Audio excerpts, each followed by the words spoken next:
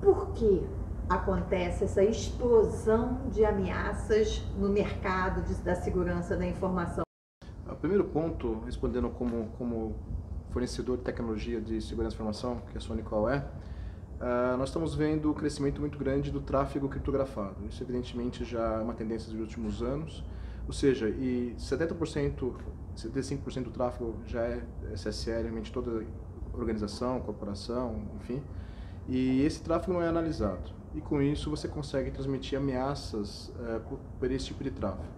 Segundo ponto importante, uh, as ameaças estão aumentando muito em, em recursos como, simples, como Office e PDFs. Uh, haja vista que, por exemplo, qualquer usuário uh, recebendo o arquivo PDF não vai desconfiar que aquilo realmente é uma ameaça.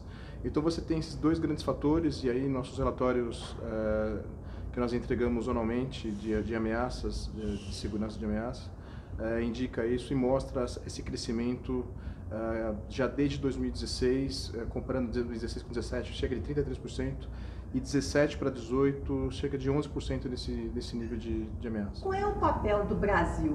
Onde está o Brasil neste cenário global? Uh, pela primeira vez, o nosso relatório anual de ameaças, é, recém-lançado agora, divulgado pelo mercado, foi apontado em, o Brasil em, dois, em duas informações extremamente importantes. A primeira delas, que o Brasil realmente está representando 7% dos ataques de botnets realmente de todo mundo. Claro, os Estados Unidos continuam liderando isso.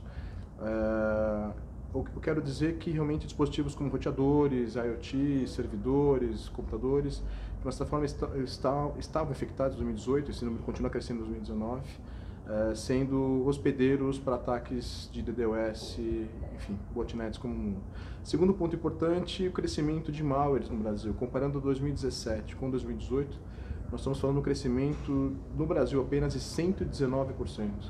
E aí realmente associado, como eu disse anteriormente, a uma, uma falta de preocupação eh, dos gestores de análise desse tráfego criptografado, que nós sempre estamos apontando isso nos nossos reportes, uh, como também o, a, o, aumento de ameaças em cima de, de arquivos uh, comuns, como arquivos Office, e arquivos como PDFs também. Qualquer tipo de usuário que recebe um arquivo PDF uh, eh, não vai desconfiar que aquilo pode estar algum tipo de, de ameaça uh, embutida naquele, naquele recurso.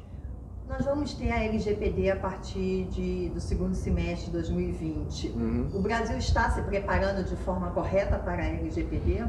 Eu ainda vejo que não, Ana. Uh, alguns pontos básicos. Primeiro, primeiro uh, motivo que não há uma análise de risco das organizações das companhias. Tá? Então, uh, existem muitas ofertas simplesmente de produtos e aí produto por si só não vai resolver o que a LGPD solicita e necessita, na verdade.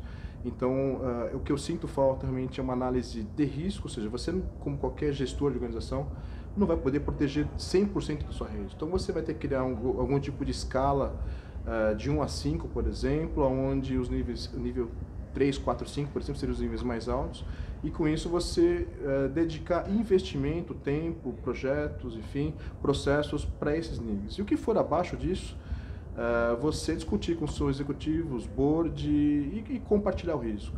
O que, que a gente tem visto, e aí é uma opinião minha pessoal realmente, uh, percebo que a posição de DPO, isso solicitada pela, pela Lei Geral de Proteção de Dados, ou seja, a, a interface que vai ser entre a organização com, uh, com a mídia, com os executivos, com, com o mundo externo também, enfim, uh, ele, ele, ele está sendo ocupado por uma pessoa jurídica, na verdade. E no meu entendimento, claramente, é isso, a, a, a, pessoa jurídica tem que ser apenas o final desse processo, dessa história. Então, se você tem que mapear os seus níveis de risco, se você tem que determinar uh, em qual grau de, preocupação sua empresa está, uh, no meu entendimento, não seria pessoa jurídica nessa cadeira, nessa posição para fazer isso.